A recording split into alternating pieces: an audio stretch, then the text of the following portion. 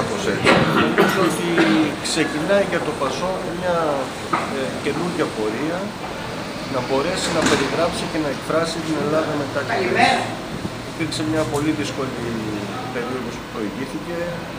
Ε, το Πασό και τα στελέχη του και ο ίδιος ο επόμενος πρόεδρος, ο Βαγγέλης Βενιζέλος, ανέλαβαν ε, πολύ μεγάλες ευθύνες, ένα πολύ δύσκολο έργο.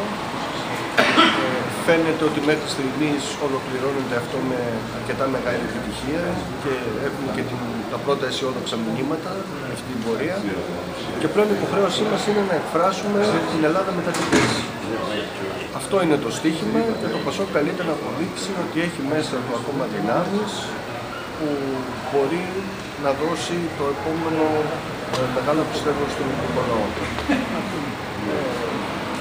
Ε, θεωρώ ότι η σημερινή διαδικασία θα πάει καλά, δηλαδή θα υπάρξει αρκετά καλή συμμετοχή ε, κατά τη διάρκεια της και ότι θα σηματοδοτήσει ακριβώς ένα καινούργιο ξεκίνημα όπως το έχει εκφράσει και ο επόμενος πρόεδρος χρησιμοποιώντας τη λέξη έρθους.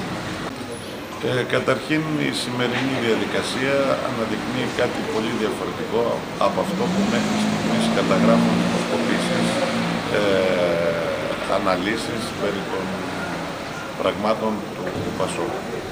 Φαίνεται ότι ο κόσμος και πιστεύει και, και πίστευε και πιστεύει σε αυτό που η νέα ηγεσία υπό τον Βαγγέλη Μελισσέλη δίνει το στίγμα της νέας αρχής.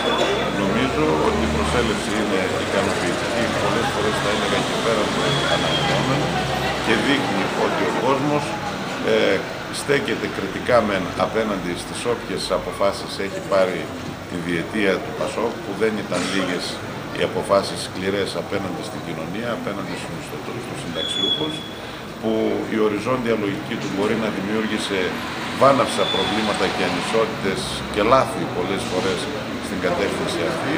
Εν τούτης όμως πιστεύω ότι η νέα αρχή είναι η δυνατότητα που δίνεται και στη χώρα και στο ίδιο το Πασό να μπορέσει να συνεχίσει και πρωταγωνιστικό ρόλο να παίζει, αλλά και την Ελλάδα να μπορέσει να βγάλει από αυτό που όλοι βάλαμε σαν στοίχημα στη νέα αρχή της ανάπτυξης.